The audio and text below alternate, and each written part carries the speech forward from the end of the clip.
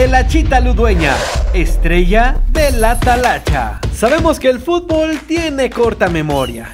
Un día estás alcanzando la gloria y al día siguiente puede ser olvidado y no volver a jugar más en primera división. Y hablando de esto, ¿alguien sabe ahora dónde juega Daniel el Achita Ludueña? ¿Se acuerdan de él?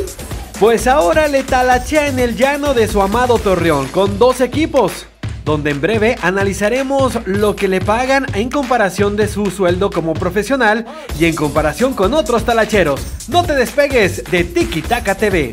Recordaremos que Ludueña fue, en su momento, uno de los mejores jugadores del fútbol mexicano, pues en sus equipos siempre la armaba, siempre era de los mejores, los más destacados y siempre consiguiendo logros importantes. Pero eso es cosa del pasado ya que la Chita tuvo un gran paso por Santos y los Pumas.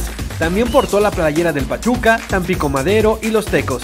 En Argentina tuvo un fugaz paso por el Atlético Talleres y en River Plate, el club del cual es canterano. El argentino ahora ya de 37 años de edad continúa con la misma profesión, aunque ahora a nivel amateur, con un salario muy, pero muy inferior a lo que ganaba cuando jugaba en la Primera División de México de estarse llevando a la bolsa, chequense muy bien, casi un millón de dólares al año, ahora percibe entre 5 y 3 mil pesitos por partido.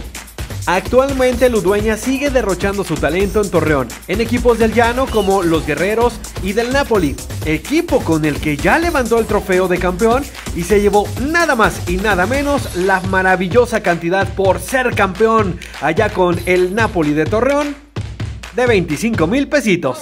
Por supuesto que nada que ver con lo que ganaba en los equipos profesionales, pero bueno, ahora se lleva grandes trofeos y sigue disfrutando del fútbol.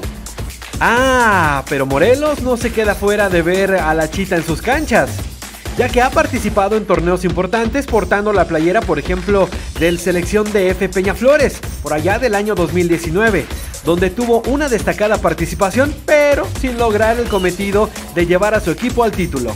No podemos olvidar que Daniel Udueña le hizo el feo al Zacatepec siglo XXI en el año 2016. Había sido cedido de los Pumas a los Cañeros por un año, pero la chita mm, hizo berrinche y decidió no jugar aquí en Morelos y por supuesto que buscó algunas otras opciones fuera de México. Después de eso, Ludueña ya no volvió a figurar en el fucho. ¿Será karma o simplemente ya se la apagó la mecha? Recuerda que en Tiki Taka TV tienes todas las historias y toda la información del fútbol y por supuesto de la talacha. Así que te pido que le piques a la campanita para que no te pierdas nada de los contenidos que tenemos para ti.